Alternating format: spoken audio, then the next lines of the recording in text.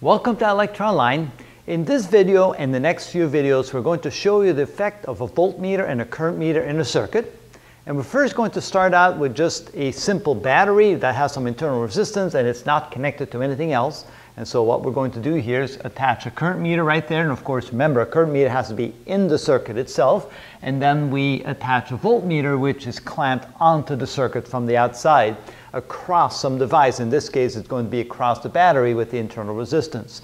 The E here stands for the EMF, the electromotive force, the voltage that the battery provides, and of course internal resistance will take away some of the voltage if there's a current flowing through it, and we measure the terminal voltage from one end of the battery to the other end of the battery. All right, also we're going to assume that the internal resistance of the voltmeter is 20,000 ohms. Typically, internal resistances of voltmeters are fairly high, and the modern voltmeters are probably much higher than 20,000 ohms.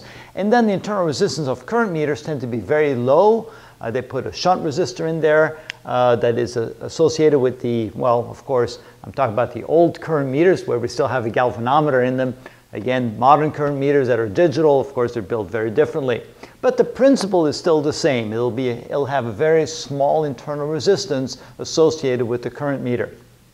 So what would the voltmeter and the current meter read here?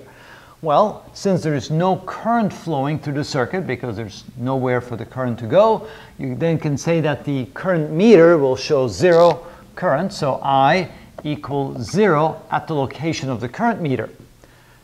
Now, is that completely true? Well, if we don't have the voltmeter attached, if we assume for a moment the voltmeter is gone, then yes, you can say there's absolutely no current. But once you attach a voltmeter, you actually provide a complete circuit, and some current will be flowing through this part of the circuit. So even though you didn't intend to measure the voltage uh, of uh, for example, this is now will be a parallel path, and so the voltmeter will, in essence, measure the voltage of the parallel path it's an unintended consequence of measuring the voltage. There's always going to be some small effect on the, um, on the circuit, and you'll see in a moment how that works. So first of all, what we can say is, let's calculate the current in this portion of the circuit once we connect the voltmeter on there. And of course, using Ohm's law, I equals V over R. And the voltage provided in the circuit will be the EMF, which we define to be 5 volts, divided by the total resistance, which is the resistance of the voltmeter plus the internal resistance of the circuit. Now you'll see that the internal resistance of the circuit is very small. This is very large, the, the resistance of the voltmeter, so we should see a very, very small current.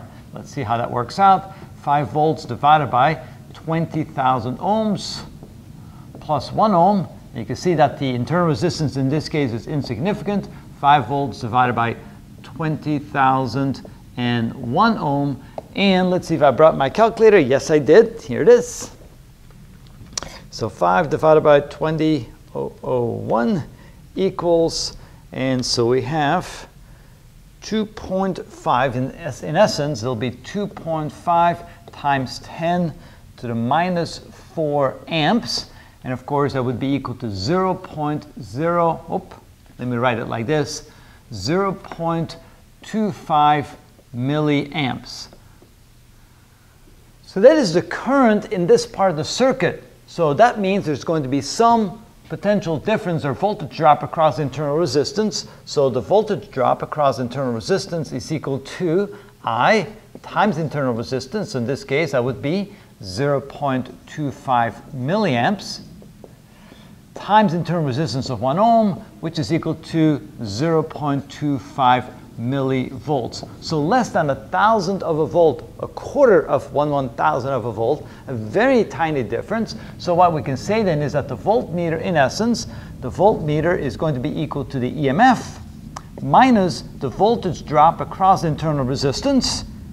And so this is going to be 5 volts minus 0.00025 volts. And this is so small, this is so insignificant, most voltmeters will not even pick that difference up. This is still going to show you uh, a 5 volt across the, uh, across the battery, across the EMF with the internal resistance. So you can see that when you have a circuit that is not connected to anything, in essence, the volt, placing the voltmeter on there will have a very small effect, but it's virtually insignificant. The current coming through that part of the circuit is very small, therefore the voltage drop across internal resistance is very small, so therefore you're still seeing 5 volts across the battery, as if there's no internal resistance and as if there's no current through there.